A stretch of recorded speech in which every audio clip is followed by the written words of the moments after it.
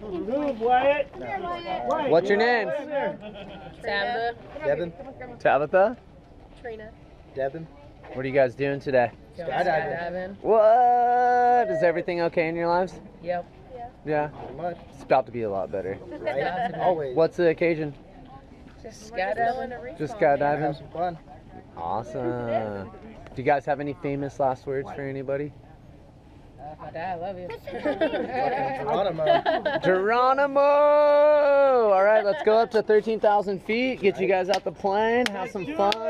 Woo! Let's do it. Here we go. You ready for this? Are you excited?